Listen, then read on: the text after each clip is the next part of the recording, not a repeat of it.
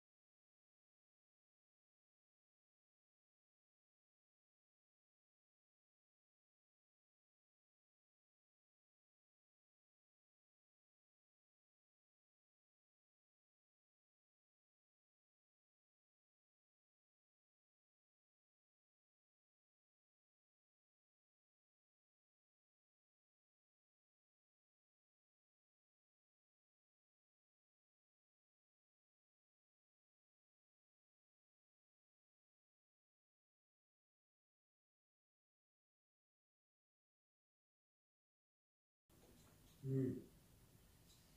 Even better, Sam. Yeah.